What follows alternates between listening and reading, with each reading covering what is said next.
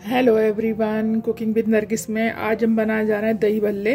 तो उसके लिए मैं उड़द की दाल थी ये, एक कप भर के, एक एक कप है मेरा ये। तो ये मैंने इसे रखी है, इसको वॉश करके भिगो रही हूँ और फिर इसको पीसती हूँ। फ्रेंड अब इसमें दाल हमारी धुल गई है और इसमें मिक्सर में डाल के अब इसको पीस रहे हैं थोड़ा थोड़ा करके।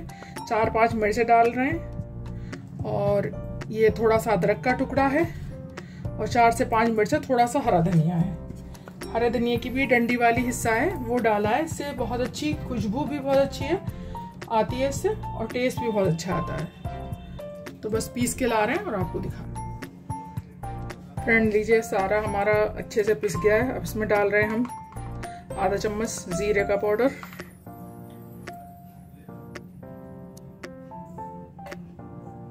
एक चम्मच नमक, आधा चम्मच काली मिर्च, और ये हमने सारा जितना पीसा था मिर्च और वो, इसको भी मिक्स कर ले रहे हैं सब इसमें।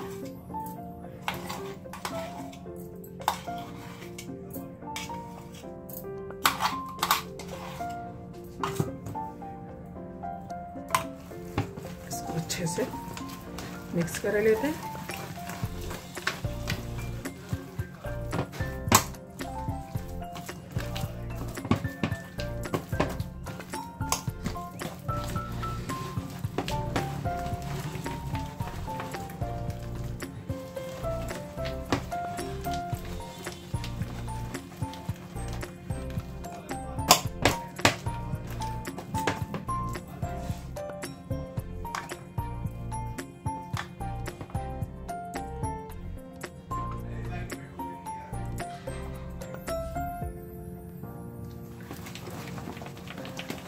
देखो, इसको जितना आप फेंटोगे, उतना ही ये अच्छा और हल्का हो जाएगा।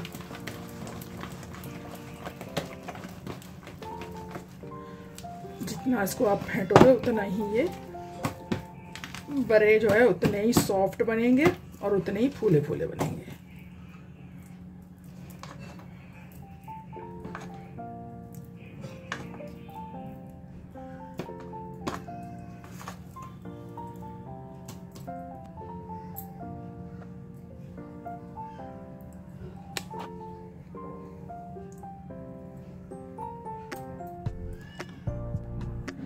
देखिए हमारी एकदम से तैर गई है देखिए।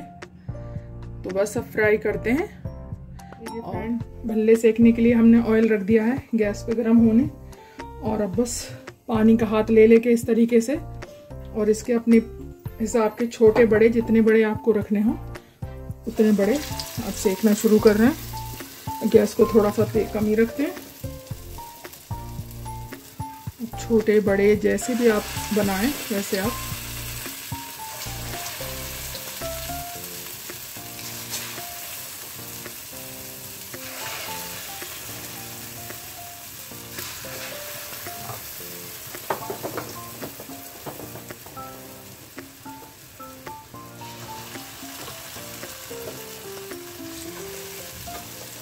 जितने एक बार में आ जाएँगे। डाले देते हैं।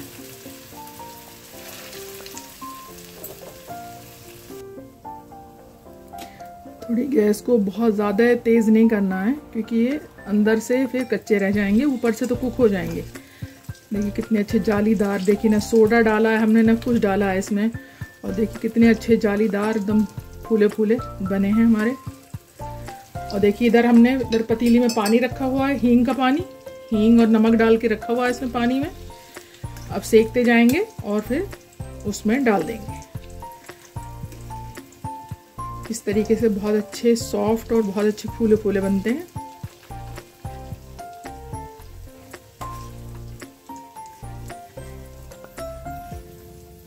आप वैसे बड़ा बर्तन लीजिएगा, मैंने छोटा बर्तन में ही फ्राई करने के लिए फ्राई पैन रखा था। आप कढ़ाई वगैरह लें तो ज़्यादा अच्छा है कि छोटे बर्तन में थोड़ा सा वो भी थोड़ा मुश्किल होता है। मैंने पकौड़े सेके थे तो मैंने इसीलिए छोटा बर्तन ही लिया हुआ मैंने। और इनको सीखने देखिए, जो पहले सीखे हुए हैं, अच्छे लाल लाल सीख गए हैं। अच्छे से इनको करारे करारे सेकना है, ताकि अंदर का जो जिगर है ना, वो कच्चा ना रह जाए। ना पेट में दर्द भी हो सकता है इस तरह से कच्चे खाने से।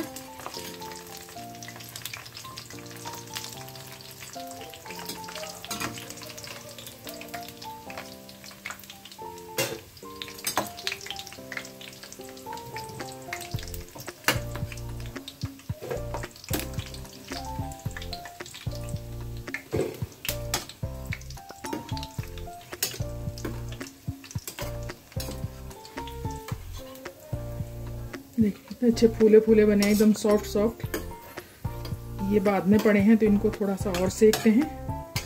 और अच्छा कलर आने तक इनको और सेकते हैं। इतना हम लोग दूसरे डालना शुरू कर दें।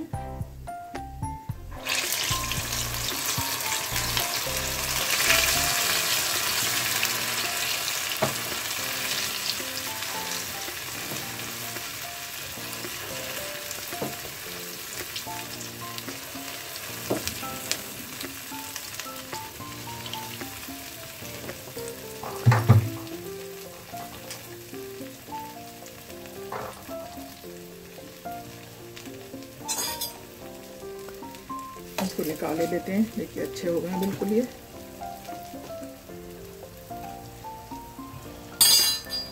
और डाले दे रहे हैं। जगह है थोड़ी।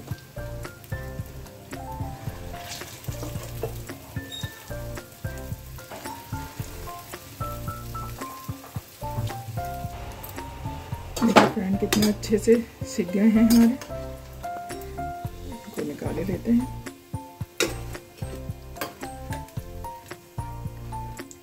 बस बाकी बचा है, एक बार का और उसे बनाते हैं। देखिए हमने भल्ले हमारे सीख गए हैं, हमने पानी में डाल दिए हैं और थोड़े से हमने बचा लिए हैं। जितनी ज़रूरत हो उतने बनाएँगे। और दही में हम डाल रहे हैं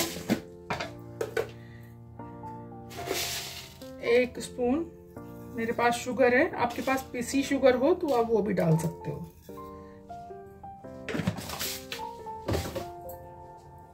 और इसमें डाल रहे हैं। चाट मसाला।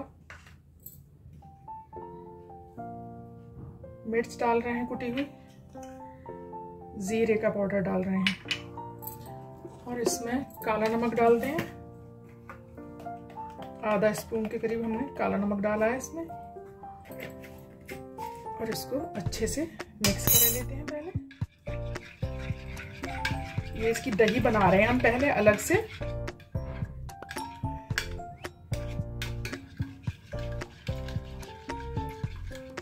नमक, मिर्च, आप अपनी दही के हिसाब से देख लीजिएगा।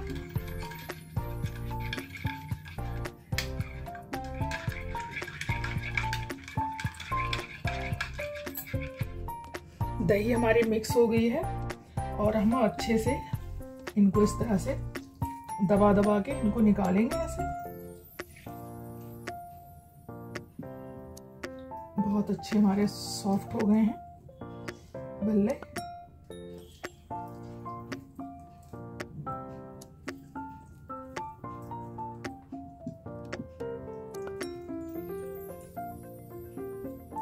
सबको निकाले लेते हैं दबा दबा। लीजिए, हमारी दही तैयार हो गई है। अब दही को हम इसमें डाले दे रहे हैं।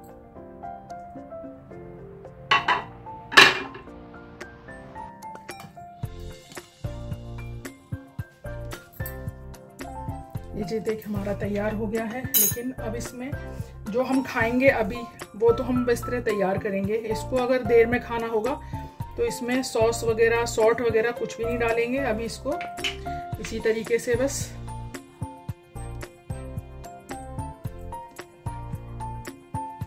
हरी मिर्च, लाल मिर्च और से गार्निशिंग करे दे रहे हैं। और एक हम अपना खाने के लिए अलग बना रहे हैं, जो हम खाने वाले हैं। देखिए, ये हमने चार रखे हैं और इसमें हम दही डाल रहे हैं। ये चीज़ें हम खाने के लिए भी बना रहे हैं। तो सबसे पहले ज़ीरा स्प्रिंकल करेंगे इस पर ये हमने भुना हुआ ज़ीरा है हमारा। जैसे ठेले वाले भैया देते हैं उस तरीके से। फिर लाल मिर्च स्प्रिंकल करेंगे। फिर थोड़ा सा चाट मसाला स्प्रिंकल करेंगे। और फिर इसमें डालेंगे थोड़ी सी हरी मिर्च। और फिर इसमें डालेंगे सॉल्ट। ये भी मेरी होममेड है, सॉल्ट भी।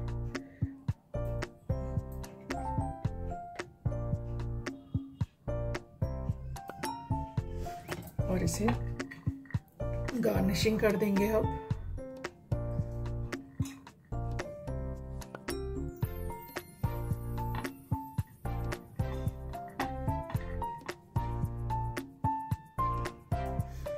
देखिए ना बन गई ना हमारी शानदार सी। थोड़े से धनिया के पत्तों से।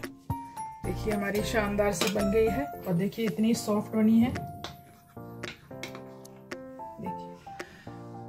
ट्राई तो बनता है तो ज़रूर ट्राई करिएगा। और आपको मेरी रेसिपी पसंद आती है मेरे दही भल्लों की तो प्लीज़ मेरे चैनल को सब्सक्राइब लाइक शेयर ज़रूर करिएगा। दुआओं में याद रखिएगा। मिलते हैं एक नई वीडियो के साथ। अल्लाह हाफिज़। मुझे इंस्टाग्राम पर भी फॉलो करिएगा। आप ईद पे, रमज़ान में आप जब चाहें बना सकते हैं।